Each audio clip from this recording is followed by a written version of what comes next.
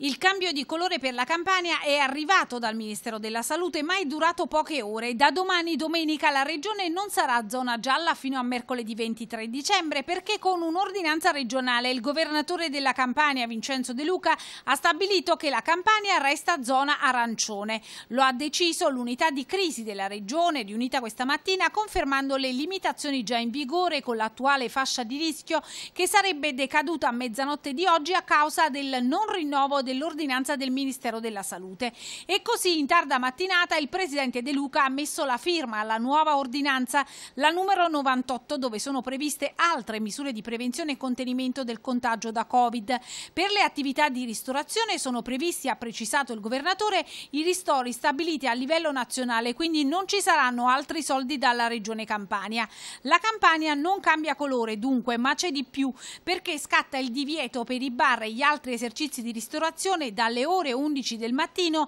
di vendita con asporto di bevande alcoliche e non alcoliche con l'esclusione dell'acqua. Per tutto l'arco della giornata divieto di consumo di cibi e bibite anche non alcoliche nelle aree pubbliche aperte al pubblico, ivi comprese le ville e i parchi comunali. Tutti gli esercizi commerciali avranno l'obbligo di misurazione della temperatura corporea alle persone all'ingresso dei locali e di inibire l'ingresso laddove la temperatura risulti superiore a 37 gradi e mezzo. Raccomandazioni Istruzione ai comuni e alle altre autorità competenti di intensificare la vigilanza e i controlli sul rispetto delle disposizioni vigenti, in particolare nelle zone della cosiddetta Movida. Nessuna boccata d'ossigeno dunque per la Campania, anzi limitazioni fino al 23 dicembre, quando poi seguiranno 10 giorni di zona rossa e 4 in zona arancione, con il coprifuoco che resta sempre attivo fino alle ore 22, con il nuovo decreto per le festività natalizie con il quale il governo ha introdotto ulteriori misure restrittive.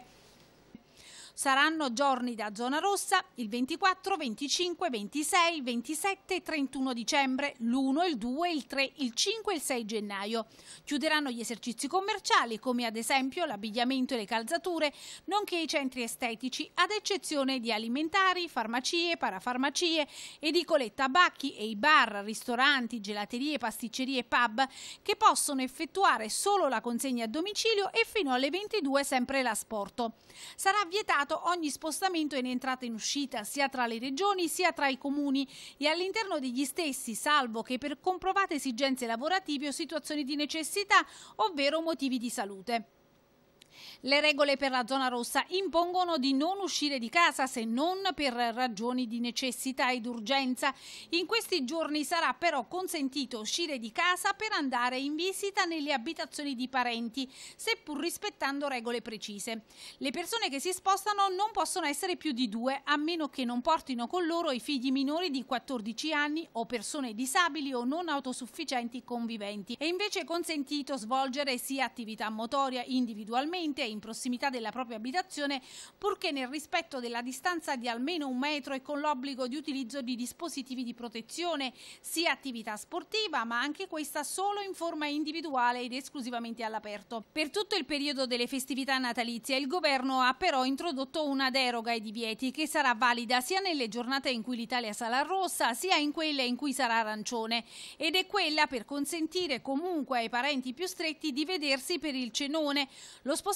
verso le abitazioni private è consentito una sola volta al giorno in un arco temporale compreso fra le 5 e le 22 verso una sola abitazione ubicata nella stessa regione nei limiti di due persone ulteriori rispetto a quelle già conviventi, oltre ai minori di 14 anni, sui quali tali persone esercitano la potestà genitoriale alle persone disabili o non autosufficienti conviventi. In zona rossa invece non è consentito far visita o incontrarsi con parenti o amici non conviventi in qualsiasi luogo, all'aperto o al chiuso, recitano le FAC del governo. Chi lo fa rischia una multa da 400 a 1000 euro.